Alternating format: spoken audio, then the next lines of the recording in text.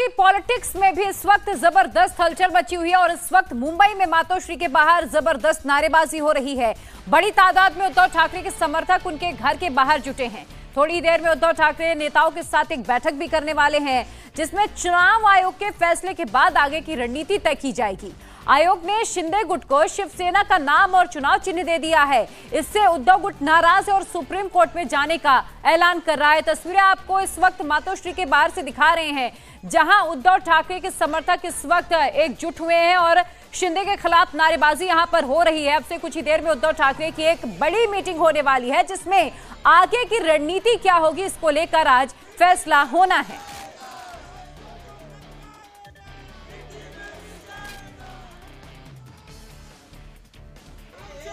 टकराएगा। मिट्टी में भी जाएगा। जो जो टकराएगा। मिट्टी में भी जाएगा। कौन चले भाई कौन चले? शिवसेना के वीर चले। कौन चले भाई कौन चले? फ्रीडम ऐप से सीखकर आपने सुअर का पालन शुरू किया है क्या? तो आप अपने सुअरों को एक करोड़ फ्रीडम ऐप के जो ग्राहक हैं उन्हें बिना किसी खर्चे के आप उसे बेच सकते हैं।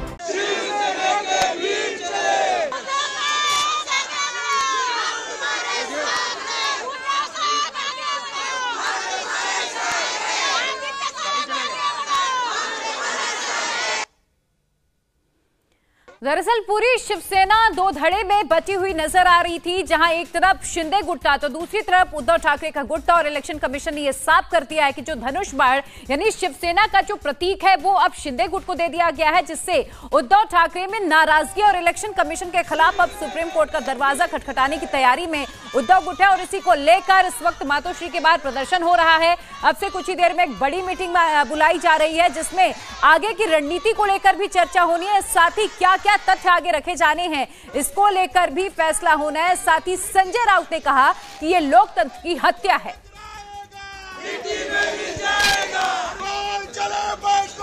चले।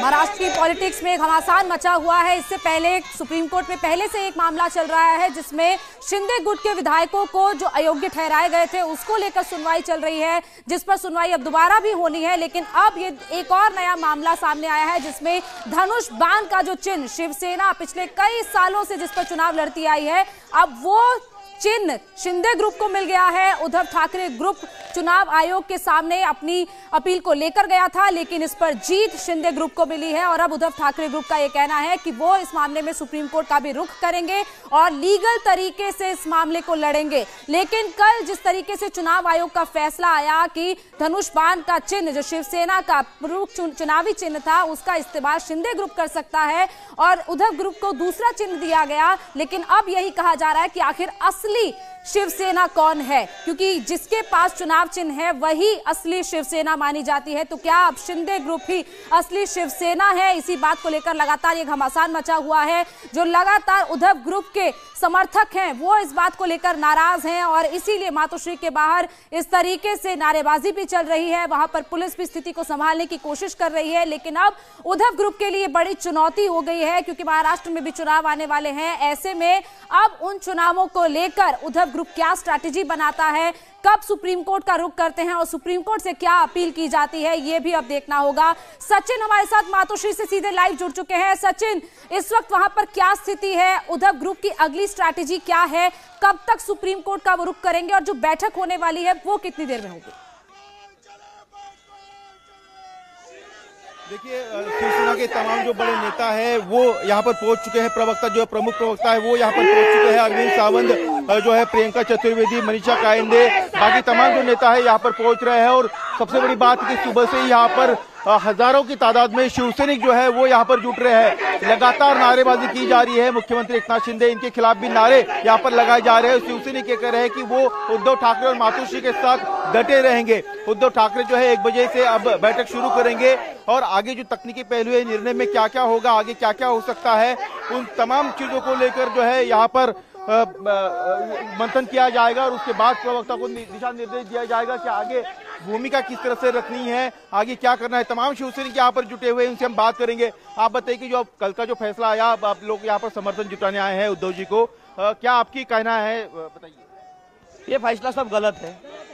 गलत पूरा गलत फैसला है। पूरा मीडिया मीडिया सब बिका हुआ है। सब फैसला गलत है। शिवसेना किसी के बाप की हो नहीं सकती बाला साहब ठाकरे की शिवसेना है। आप बताइए।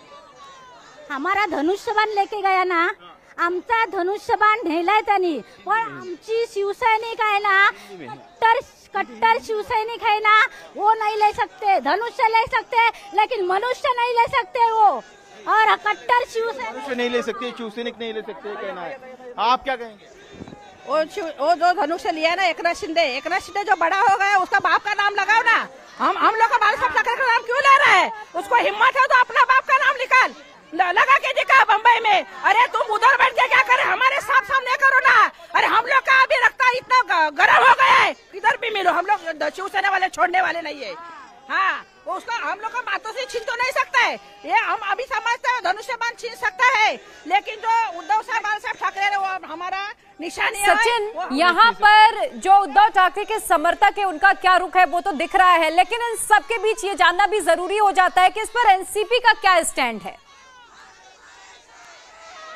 फ्रीडम ऐप से सीखकर आपने सुअर का पालन शुरू किया है क्या? तो आप अपने सुअरों को एक करोड़ फ्रीडम ऐप के जो ग्राहक हैं, उन्हें बिना किसी खर्चे के आप उसे बेच सकते हैं।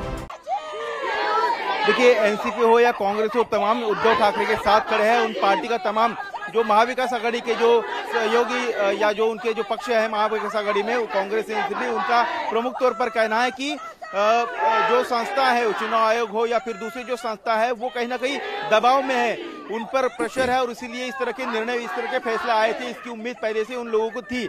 लेकिन उनका कहना है कि उद्धव ठाकरे जो है, उनके साथ ही शिवसैनिक है, जो कैडर है, उनके साथ अभी भी है। भले ही नाम उनको मिल गया है, भले उनको चुनाव चिन्ह मिल गया है, लेकिन शिवसैनिक जो है उद्धव ठाकरे मातोश्री के साथ में है। ऐसे में उद्धव ठाकरे जब भी चुनाव होंगे, एक बार फिर से सफलता हासिल करेंगे। महाविकास आघाड़ी के तौर पर कांग्रेस और एनसीपी उद्धव ठाकरे के साथ रहेगी। यही उनके नेताओं का कहना है। बहरहाल, भीड़ यहाँ पर लगातार है। शिवसैनिक लगातार समर्थन देने के लिए मुंबई भर से मातोश्री पहुँच रहे हैं और उद्धव ठाकरे के साथ तमाम जो नेता है, उनकी बैठक मातोश्री पर यहाँ पर शुरू हो गई है। इंडिया टीवी, हर वक्त। हर जगह। डाउनलोड करने के लिए सर्च करें India TV news Google Play Store या एप स्टोर पर।